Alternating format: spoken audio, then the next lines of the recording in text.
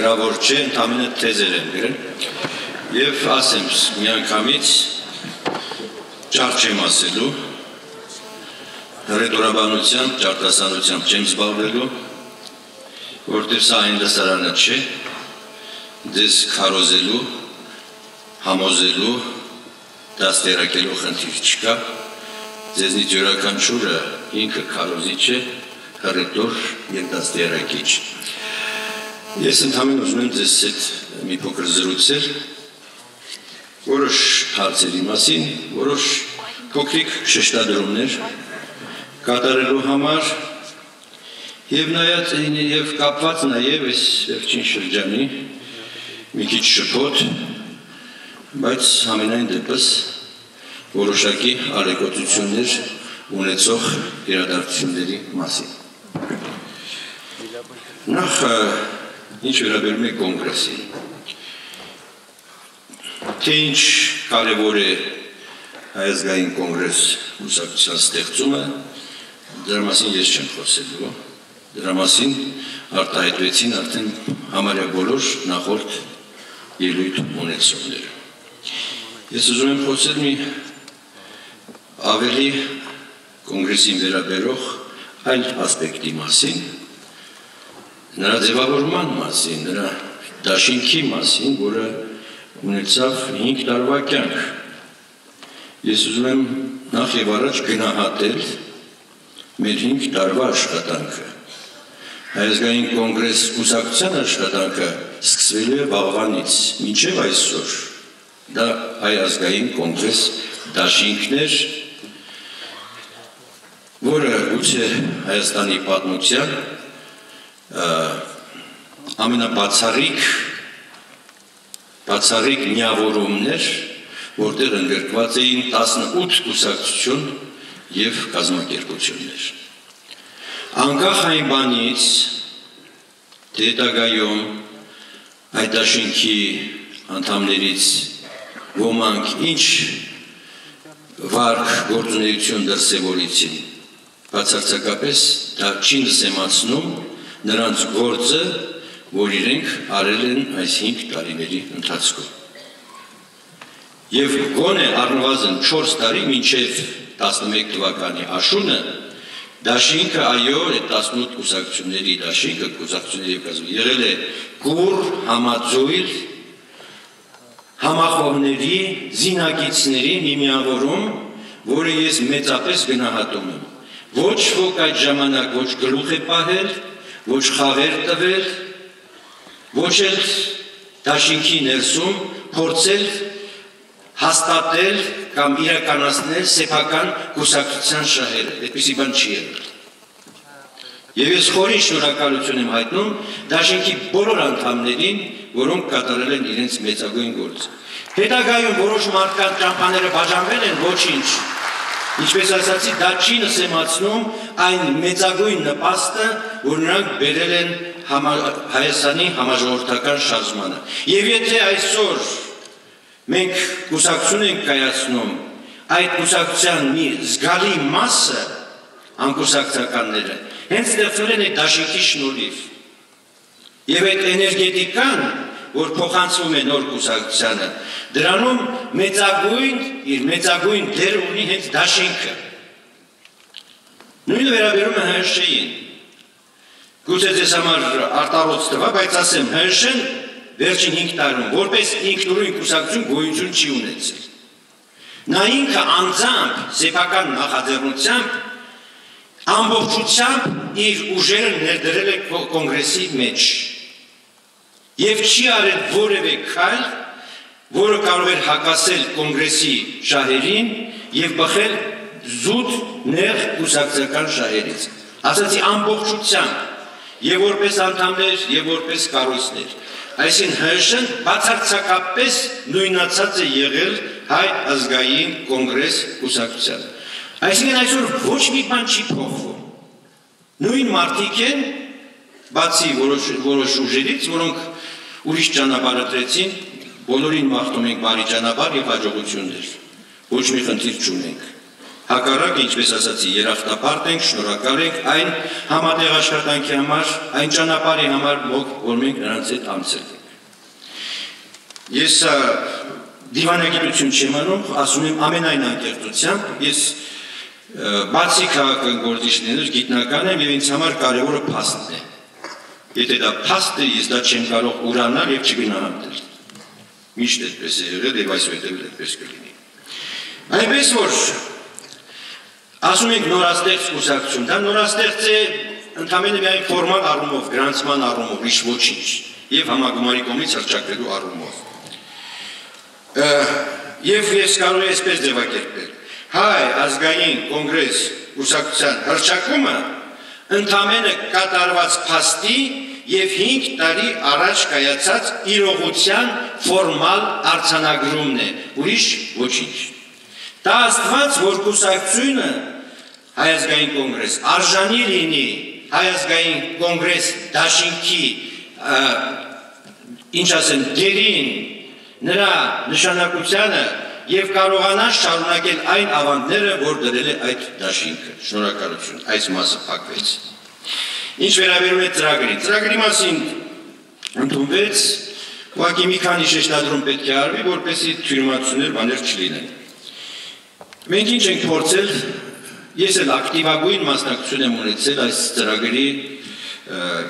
իրականացմանը 3 անգամ կարդացել եմ խմբագրական հանձնաժողովի կազմած նախագծերը, արել են որոշ դիտողություններ եւ այլն եւ այլն,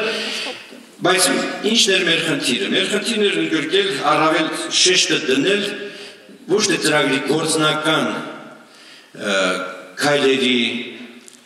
հանգրվանների վրա, այլ ավելի շատ փիլիսոփայության վրա։ Որն է մեր ծրագրի փիլիսոփայությունը։ Նախ այդ ծրագրում պետք է արտահայտված լիներ այսօրվա մեր հայազգային կոնգրես կուսակցության պատմական ակունքները որովհետև դա ինչպես քիչ առաջ ասացի, դա նոր նոր չի ստեղծվում, դա ինչ որ լուրջ ակունքներ ունի, ժառանգականություն կա, եւ դա լիովին արտահայտված է։ Մի խոսքով պատմական ակունքներից մեկը 88 թվի շարժումն է, ՀՇ-ն, մյուսը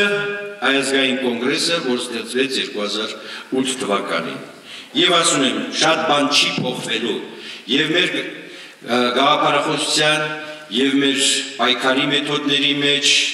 եւ մեր համակարգված գործունեության մեջ։ Երկրորդը գաղափարախոսության հիմնական հիմնադրույթներն են։ Գաղտնիք չի եղել, որ ՀՀՇ-ն եղել է ազատական կուսակցություն։ ՀՀՇ-ն եղել է ազատական կուսակցություն, դաշինքը մի կերպ այլեր այնտեղ հավաքված էին տարբեր գաղափարախոսությունների գրողներ, բայց մենք կարողացանք գտնել գտնել համատեղ աշխատելու ձև, ընդհանուր լեզու մի կողմ դրած այդ գաղափարախոսական տարբերությունները եւ շեշտը դնելով Հայաստանի գլխավոր խնդրի վրա, իսկ գլխավոր խնդրի հարցում մենք որևէ տարաձայնություն չունեինք եւ այսօր էլ դատելով ոչ միայն մեր, այլև բոլոր ընդդիմադիր քաղաքական ուժերի արտահայտություններից այդ գլխավոր խնդիրը մնում է նույնը. Ազատվել ավազակապետությունից եւ Հայաստանում ստեղծել սահմանադրական կարգ ուրիշ ոչինչ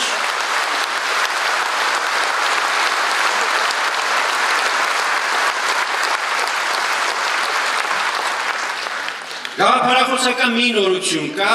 Ազատականության մասին ներպատկերացումների ժամանակ որոշ առումով ռոմանտիկ էին եւ նույնիսկ կարելի է ասել ռեֆլեկտիվ հակազդեցություն մեր սովետական բռնապետությունից հետո մենք պիտի բոլորս դառնայինք ամենա, չգիտեմ, ծայրահեղ լիբերալները, ամենածայրահեղ դեմոկրատները եւ այլն, չհասկանալով նաեւ այն սահմանափակումները, որոնք գոյություն ունեն նաեւ այդ գաղափարախոսություններում։ Եվ մենք, այսպես, կյանքի փորձով աստիճանաբար եկանք հանգանք սոցիալ լիբերալիզմի գաղափարին որը շարադրված է դնադրույթները կան ծրագրում եւ ես դրա վրա չեմ ուզում ծանրանալ։ Սա շատ կարեւոր ինձ թվում է մի զարգացման մի этап է, որը անցնում է մեր շարժում։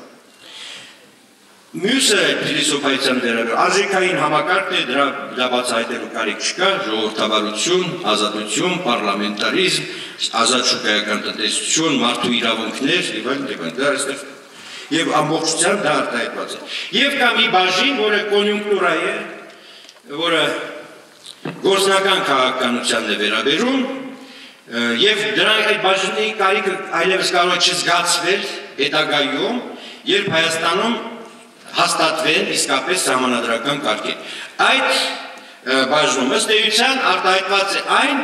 ինչ որ մենք ունենք համանadrություն։ Եթե ուզում եք իմանալ մեր գաղափարախոսությունը, նույնիսկ կարելի է ամփոփել մեկ նախադասությամբ։ Մեկ նախադասությամբ բծախնդիր կերպով քայլ առ քայլ իրականացնել Հայաստանի Հանրապետության սահմանադրության դրույթները Եվ իմացեք, եթե ցանկացած իշխանություն, ով կուզի լինի, կարողանա իրականացնել սահմանադրության դրույթների գոնե մի մասը, հետագայում մյուս մասերը թողնելով մյուսներին, ապա նա արդեն մեծագույն գործ արած կլինի Հայաստանի եւ հայ ժողովրդի համար։ Այնպես որ ասեմ, քաղաքականությունը չպետք է հանելուկ պատկերացնել։ Դա գործի կոնկրետ խնդիր է եւ հստակ է։ Եվ այդ ամբողջ արտահայտված է մեր սահմանադրության մեջ, Սամանադրություն, որ արդեն կուսակցությունների հետ էլ կապ չունի։ Սամանադրություն, որը դունել է մեր ողջ ժողովուրդը։ Ուրեմն իշխանության խնդիրն է կատարել սահմանադրությամբ սահմանված ժողովրդի կամքը, ուրիշ ոչինչ։ Շնորհակալություն։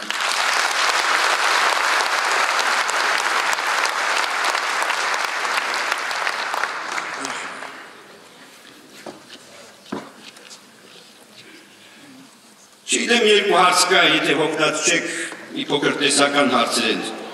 Ու ես կարող եմ դες խնայել։ Անցել առաջ։ Մեկը երևի ասեմ ոչինչ, կարճ կասնի գործել։ Մեկը մեր էլի գաղափարախոսությանն է վերաբերում։ Էլի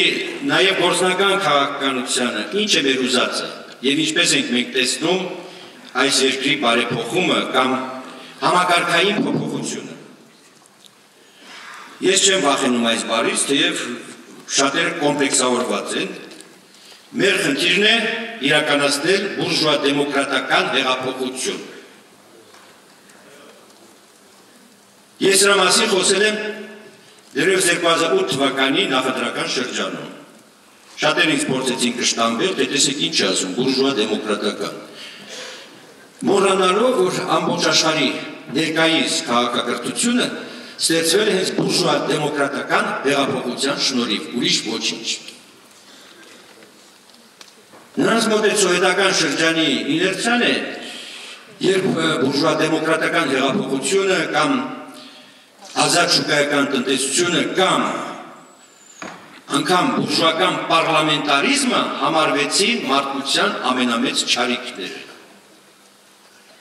հիշեք մեր ինչ էր պատմատի դիամատի դասագրքերը, ԽՄԿԿ պատմության դասագրքերը եւ այլն եւ այլն։ Ասում եմ իներցիան մնացել, ինչպես կարելի է, բայց մոռանում են, որ նույնիսկ Մարքսը, Լենինը ողջունել են բոլոր բուրժուա դեմոկրատական հեղափոխությունները։ Ելնելով մարքսյան ֆորմացիաների հաջորդականության տեսությունից Այո, պիտի լիներ բուրժուա դեմոկրատական հեղափոխություն, պիտի հաստատվեր կապիտալիստական, պիտի հաստատվեին կապիտալիստական կարգեր, այդ կարգերը պիտի իրենց սպառեին, ինչպես սպառել են նախորդ ֆորմացիաներ, որին պիտի հաջորդեր սոցիալիզմը, սոցիալիստական հեղափոխությունները։ Սա էր նրանց նշած ուղին։ Անկամ այսինքն սոցիալիստի տեսակետից Առաջնահերթը բուրժուա դեմոկրատական հեղափոխությունն է։ Մինչև բուրժուա դեմոկրատական հեղափոխություն չլինի, եթե կան սոցիալիստական գաղափարախոսության դավանողներ, սոցիալիզմ, իրական սոցիալիզմ չի լինի։ Հասունացած կապիտալիստական համակարգին էր, որ պետք է փոխարիներ սոցիալիզմը, ասա է։ Ուրեմն մեր խնդիրը սա է։ Ինչ է նշանակում բուրժուա դեմոկրատական հեղափոխություն։ Այստեղ էլ Շխոր իմաստ չպետք է որոնել։ Մեծ փիլիսոփայություն չպետք է որոնել։ Ընդհանրապես մի բան, որ արտադրողական ուժերը պետք է կապանքներից ազատված լինեն։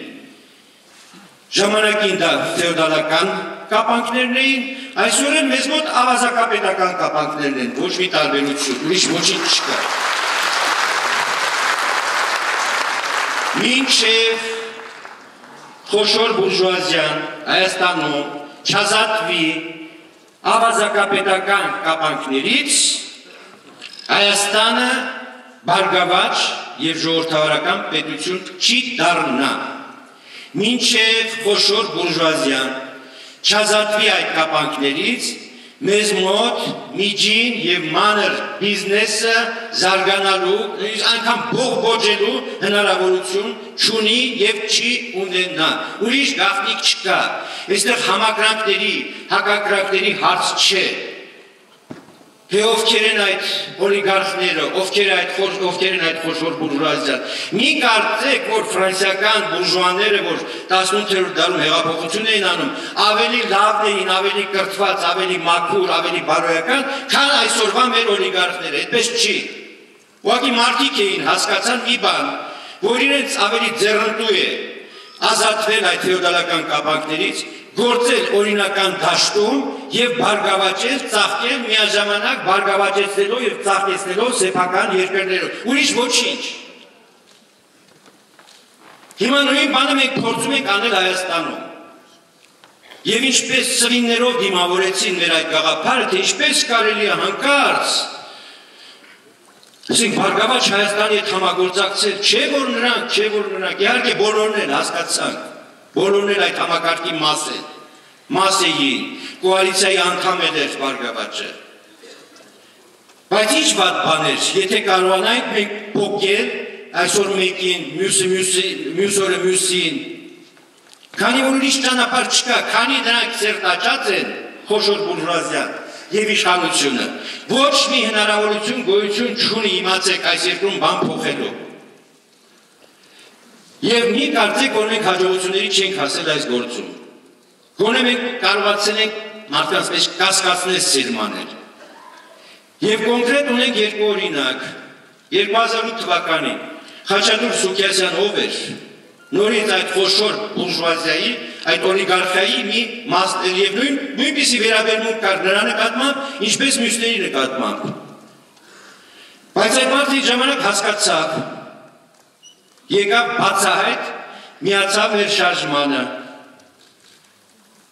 ոչինչ չստացավ դրա դիմաց հակառակը իշխանությունները առաջին հարվածը հենց հասցրին նրան իշխանությունները շատ ավելի լավ են հասկանում այն ինչ քիչ առաջ ես ես դեզ ասացի քան այսպես կոչված մեր քաղաքական ուժերը դրանք հասկացան որտեղ է վտանգը եւ ամենադաժան հարվածը հասցրին հենց Խաչատուր Սուկյասյանին, պարզապես սնանկացրին այդ մարդուն։ Իհարկե, դա կանեի, որտեն ամենակ էր։ Իսկ եթե պատերասեք դրանք լինեն շատ, մի քանիսը կամ բոլորը, իշխանությունը անզոր կգտնվի դրանց դեմ բոլորի դեմ պայքարելու։ Այսօր նույն ճանապարհն է դրել Գագիկ Ծառուկյանը։ Եվ ինչ են անում, փոխանակ նպաստեն այդ process-ին։ Փոխանակ անին ամեն ինչ, որ դա գնալով խորանա։ Եվ այդ մարդը որևէ քայլ չարեց, որը կասկածներ հարուցի, որ նա իսկապես փորձում է փոկվել իշխանությունից։ Ես չեմ ասում փոկվել է լրիվ։ Նա չի կարող, հսկայական տնտեսություն ունի, հազարու մի բաներով կապված է։ Բայց փորձում է, գնում է այդ ճանապարհով։ Դրա բոլոր քայլերը դա են ցույց տալիս։ Դուրս եկավ կոալիցիայից։ Չսատարեց Սերժ Սարգսյանին ընտրություններում, խորհրդարանական ընտրություններում առանձին մասնակցեց։ Ես վերջ վերջին հենց այս դահլիճում չշնորհավորեց, չմասնակցեց Սերժի ինչին ասում, երթմնակալությանը։ Այսօր էլ պատրաստ է հավաքանուն ընտրություններում ճակատ տալ։ Ինչպես կարելի է մի ուժ, որը նպաստում է, չեմ ասում պայքարում է, նպաստում է մի չարիքի դեմ պայքարին եւ չարիքի թուլացմանը այդպես վանել դա ուրիշ բացատրություն չի կարող ունենալ, քան մտածել, որ նրանք չեն ուզում այդ փոփոխությունները։ Ես չեմ բացառում, որ առաջիկա ավական ընտրություններում լուրջ հարված ստանալու են բարգավաճը, որտեղ Սերժը զգում է այդ վտանգը։ Եվ իմ կարծիքով թույլ չեն տալու նրան ունենալ այն հաջողությունը, ինչ ունեցավ, ասենք, խորհրդարանական ընտրություններում։ Որովհետև այս օրինակը կարող շատ վարակիչ լինել նաև տարածվել մյուս օլիգարխների վրա։ Մենք նաև սրա մասին պիտի մտածենք։ Եթե մտածում ենք ասում մեր երկրի ապագայի մասին։ Նույն ավականն դրություններում ես կարծում եմ մի քիչ առաջ եմ ընկնում, ես դրա դրությունների մասին պիտի խոսեի, բայց քանի որ խոսքը բացվեց, ասեմ ժառանգության նկատմամբ էլ Սերժի վերաբերմունքը փոխվելու է փոխվելու է, չկարծեք նրան թույլ են տալու ստանալ այն տոկոսները, ինչ ստացավ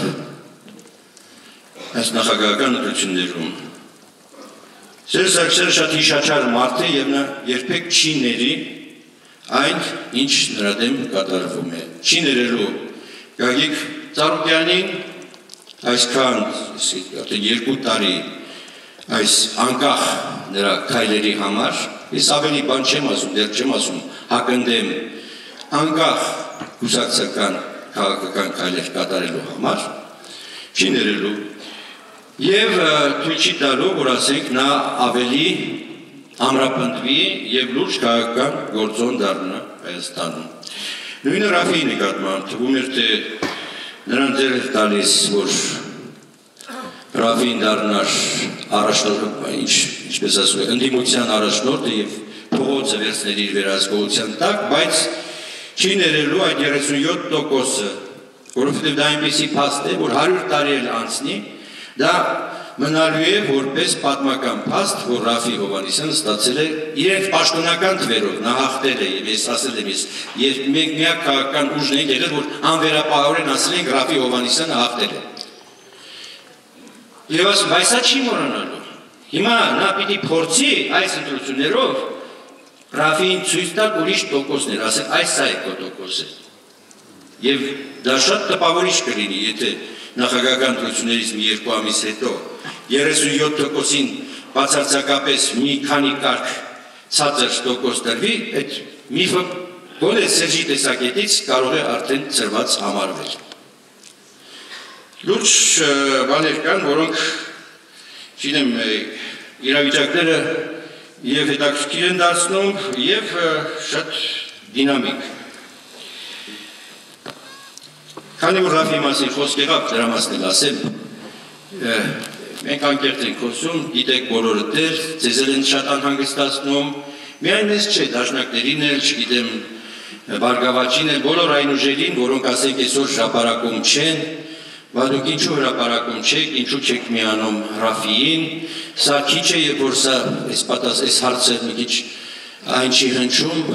ավելի դեմագոգիկ կերպով ասում են ինչու չեք միանում ժողովրդին եւ այլն եւ այլն, այսպեսի հարցեր են տալիս։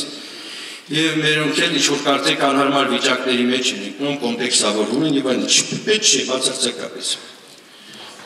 Նախ եւ առաջ ես չէի ուզի Ռաֆի մասին որևէ բացասական բան ասել։ Ոչ մի ոչ մի բացասական, հեգնական, գնահատական չտալ։ Չի կարելի Երբ որ մեկը բարիկադների վրա է, նրան չի կարելի այսպիսի դիտողություններ անել։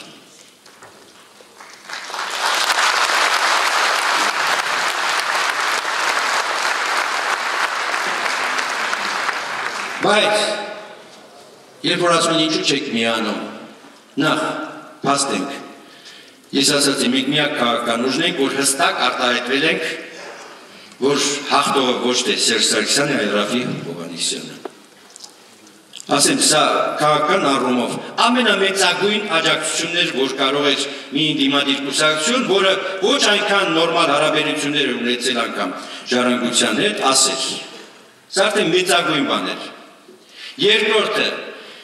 մեր ակտիվիստների մեծագույն մասը միշտ եղել է հրապարակում կոնգրեսի ակտիվիստների, եթե չչափազանցեմ, հրապարակի կեսը միշտ եղել է կոնգրեսի աջակիցները, կոնգրեսի համագիլները։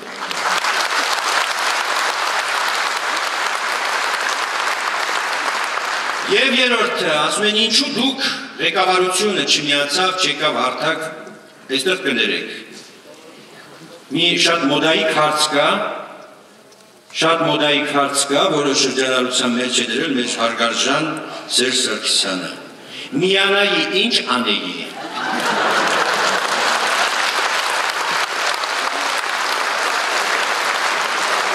Միանայի, որ գնայի Վովա Գասպարյանի հետ աղոթեի,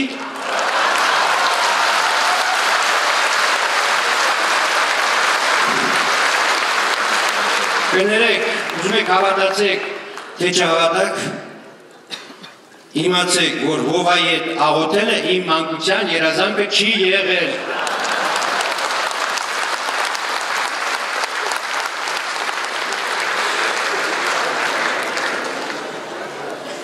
Հիմա մի քիչ ավելի լուրջ։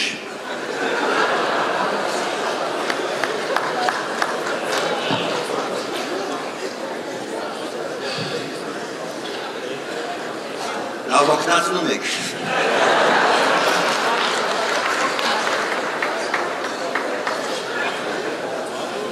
Ավելի լուրջ։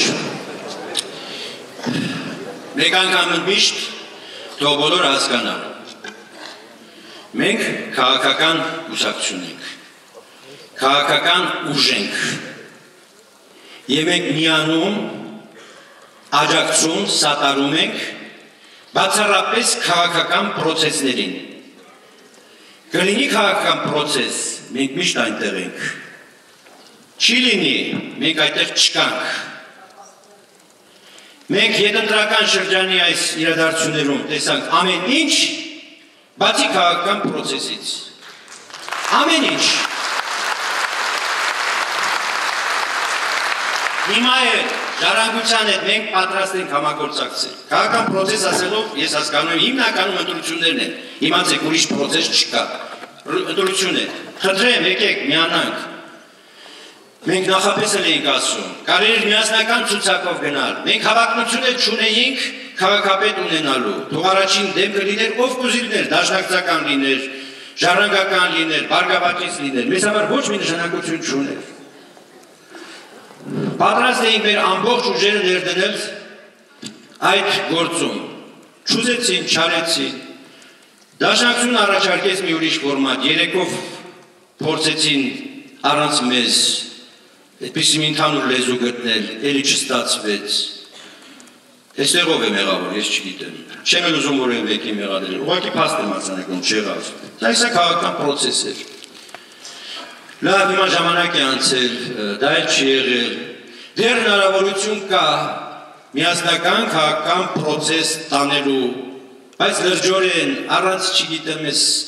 դեմագոգիայի, առանց ինչ ասեմ, կշտան բանկների կամ առանց ակնարկների, վերջ պետք է վերջ տալ այս բաներին։ Վերջ տալ։ Հիմա կարելի է միասնական էլի չգիտեմ հնարաբան ստեղծել, չգիտեմ մեխանիզմ, որ կարողանանք վերահսկել այս ընտրությունները, որ կարողանանք համագործակցել ընտրություններից հետո։ Ընտրությունները մեզ համար կարևոր են, դրա մասին շատ խոսվեց։ Էլի չեմ ուզում ես լսարանը չի որ բացատրեմ ինչ է նշանակում ավական ընտրությունները կամ ինչ է նշանակում Երևան քաղաքը։ Մի բան եմ ուզում ասել, ես ավելի էլի քաղաքական կողմի վրա եմ ուզում ուշադրություն դարձնել։ Հասկացեք, այս իշխանությունը տոտալիտար իշխանություն է։ Նա որևէ վակում թույլ չի տալիս։ Եթե ձերքից կա մի գյուղապետի անգամ թույլ չի տա, որ ընտրվի ուրիշ կուսակցությունից, կամ իր կամքին հակառակ ամբողջ ասում համատարած դրա համար մի գյուղում պարտվելը մեծագույն մեծագույն չգիտեմ պարտություն է այդպես են համարում իրենք հիմա կա շանս կա հնարավորություն Երևանում իսկապես ջախջախիչ պարտության մատնելու Սերժ Սարգսյանին իսկ սա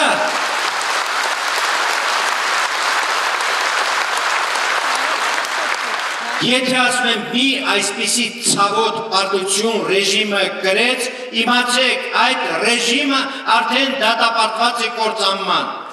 Եթե ով երազում է նախագահ դառնալ, նախագահ դառնալու ճանապարհը Երևանի ավակում հաղթանակ տանելն է։ Դե եկեք տարեք այդ հաղթանակը։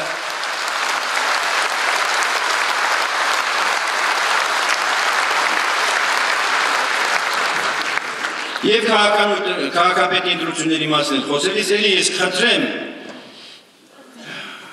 Քարոզարշավը չանձնավորել։ Տարոնը ինձ համար անց չի։ Նա համակարգի մի համաճիկն է եւ տարոնը չլինի ով էլ նշանակվի համակարգից կողմից տարոնից լավը չի լինելու։ Մենք պայքարում ենք ոչ թե անձերի դեմ, այլ համակարգի դեմ։ Խնդրում եմ սա էլ նկատի ունեցեք։ Շնորհակալություն։